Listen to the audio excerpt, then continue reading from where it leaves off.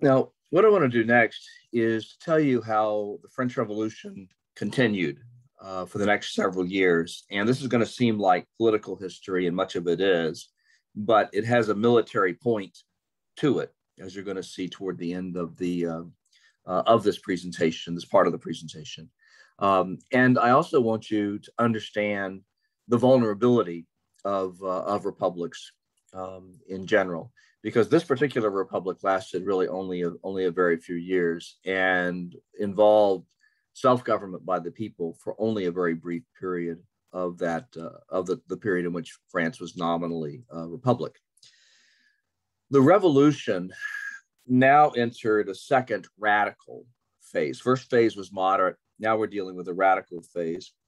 And in seven, and it begins in seven in December 1792, when King Louis XVI, who had proven that he had no interest in becoming a constitutional monarch, was finally realized that there was nothing to do but get rid of him.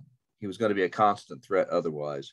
So he was placed on trial for treason and in January 1793 was beheaded with the guillotine.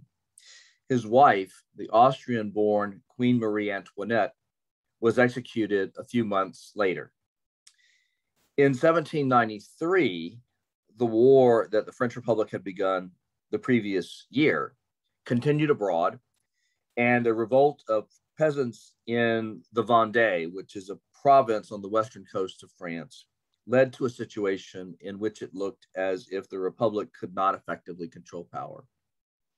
So a group called the Jacobins, which the radicals, then replaced the Girondins, the uh, moderates, as the dominant group in the national convention, the national legislature the Jacobins, and again, these are the radicals, wanted centralized as opposed to federalized or federal government. That is to say, you know, government by the national, you know, centralized national government as opposed to government that was spread out equally between the national government and the various uh, provincial uh, governments. So they wanted to have centralized as opposed to federal government. And they favored government controls on business to deal with the needs of the emergency. This won them the support of the Sans Culottes. And on June 2nd, 1793, 80,000 sans culottes surrounded the convention and arrested the Girondins, the moderates. To cope with the supreme emergency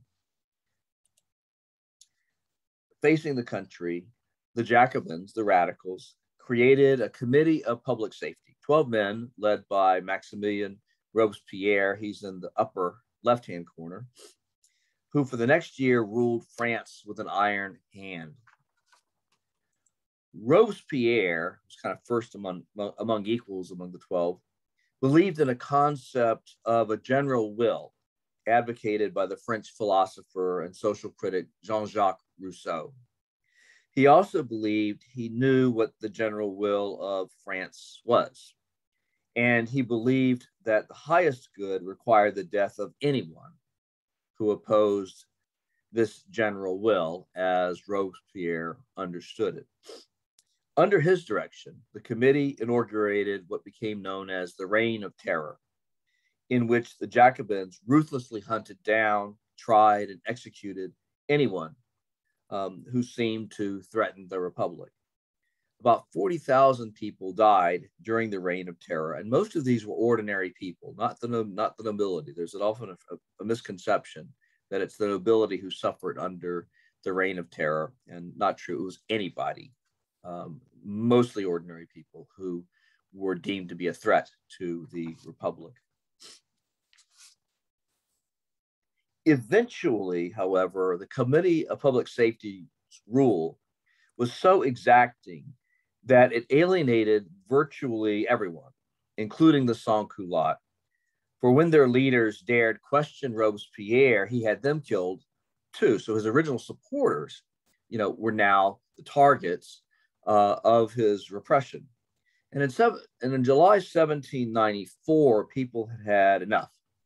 Robespierre, shown here on the scaffold, was tried and guillotined, and the terror ended rule passed back into the hands of the moderates, the middle class. Now, this became known as the Thermidorian reaction, and that's the way that it's gone into history as the Thermidorian reaction. It's, it's a fairly famous term, and it applies to it has been applied to other revolutions besides the French Revolution because people have noticed a pattern whereby revolutions sometimes go through a moderate phase and then a radical phase and then a reaction phase against the radical phase. And this, this reaction phase is called the Thermidorian reaction. But it comes from uh, Thermidor, which was one of the 10 new months into which the revolutionary government had divided the calendar. From then until 1799, the new moderate government continued to face both internal and external pressures. And during these years of trying to remain in the saddle, it was forced to turn increasingly to the army for support. Finally, in November 1799, a general named Napoleon Bonaparte, who much more later, seized power in a coup d'etat. And there are two areas of significance to this. The first is the way in which, um, in many governments around the world, um, civilian government, but particularly Republican governments, particularly Democratic government, uh, falls into the hands of the military. Sometimes a, a, direct military dictatorship, sometimes a dictatorship by someone who is nominally a civilian, but who can count on the backing of the army, the backing of naked force um, to underwrite uh, their leadership. That's the first thing, the first area of significance.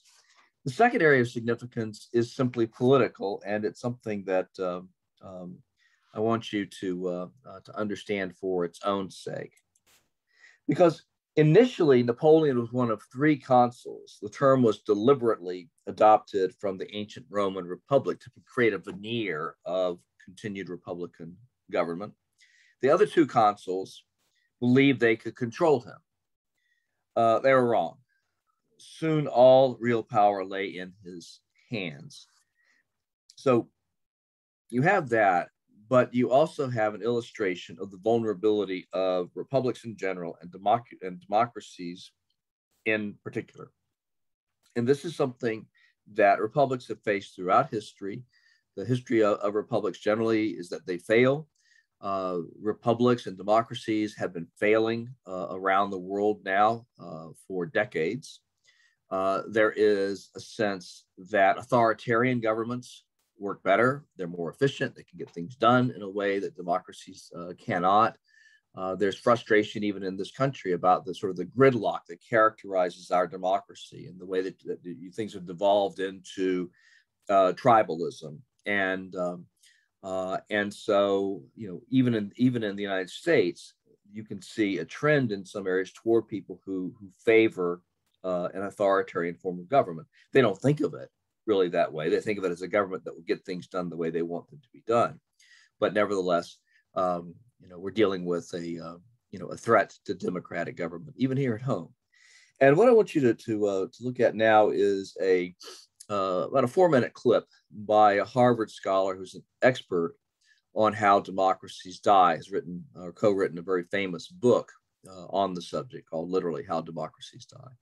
and he explains this uh, this process and it's really worth understanding uh, for its own sake so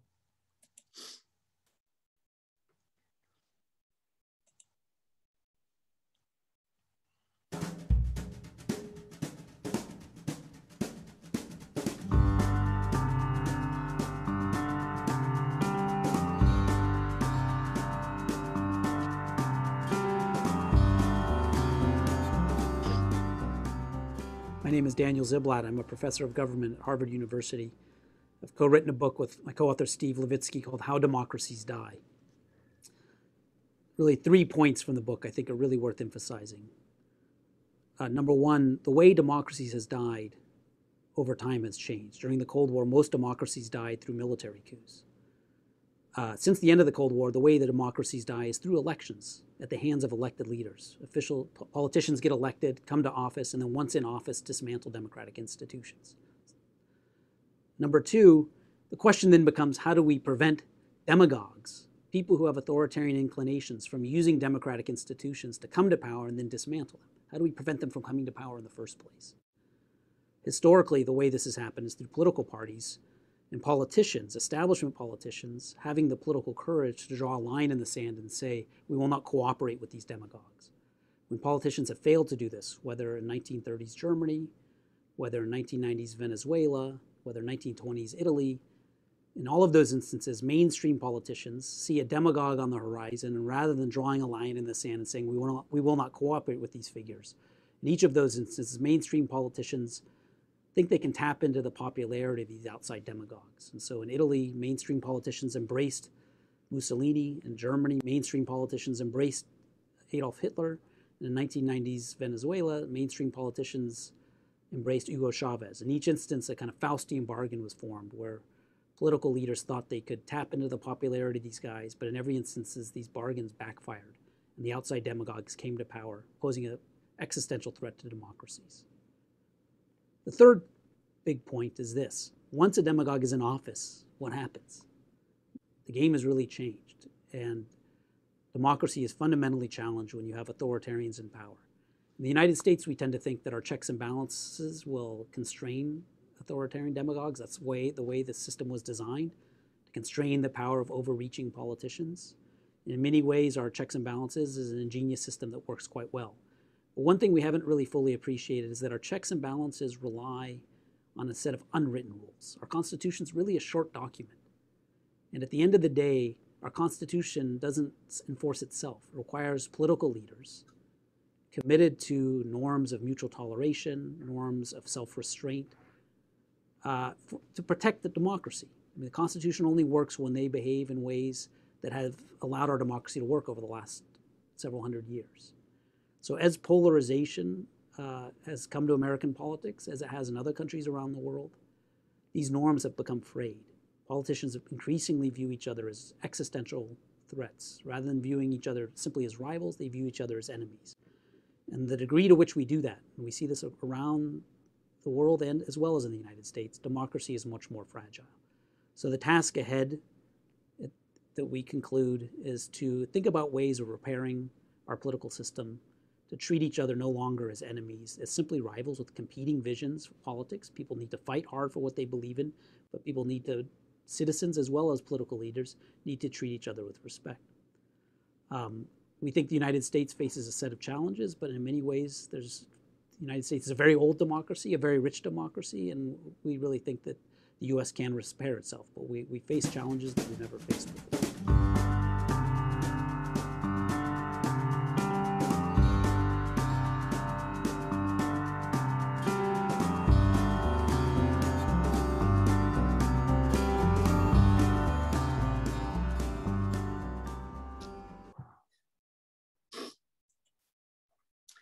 The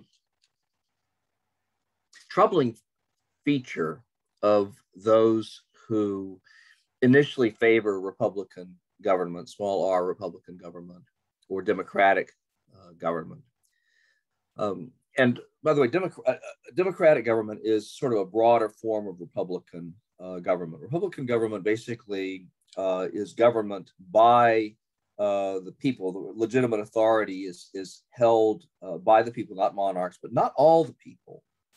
Uh, and, it, and the number of people who, who actually can hold political power, can actually exercise the vote, can be comparatively narrow. This was tr- true of the original vision of the founders. But in the United States by the 1820s, uh, there was um, general, generally speaking, uh, all white males could vote. Uh, and you, this this gives you the beginnings of what's been called Jacksonian democracy because it happened under President Andrew Jackson, or the white man's democracy because it excluded African Americans by and large. It excluded women um, until the early part of the uh, the 20th century. And the thing is, democracy is a process it is a way of getting things done. And if you're process oriented, then democracy is uh, significant and something that you want to keep. But I think that a lot of people historically, and perhaps in this, this country today, are outcome driven. They want to have certain outcomes, and if they can't get the outcomes through a democratic process, they're willing to turn to authoritarianism uh, as a way of getting the outcomes that they wanted. And this is what happened in France. Napoleon ruled as first consul for the next five years. Nominally, France was still a republic. And increasingly, though, this was in name only. In December 1804, Napoleon made himself emperor, significantly, emperor of the French, not of France, which is a nod to the theoretical sovereignty of the people. And he cast himself as the protector of the values of the revolution. And by and large, the people approved. Life under a Republican form of government had proven too stormy and unstable, and they preferred the stability that Napoleon offered them.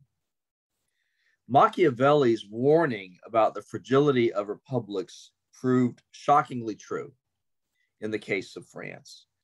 From its proclamation in 1792 until its formal end in 1804, the Republic lasted just 12 years. And for nearly all of those years, it was ruled by a handful of men the Committee of Public Safety during the radical phase of the revolution, the Directory during the reaction phase, and ultimately by a single man, Napoleon himself.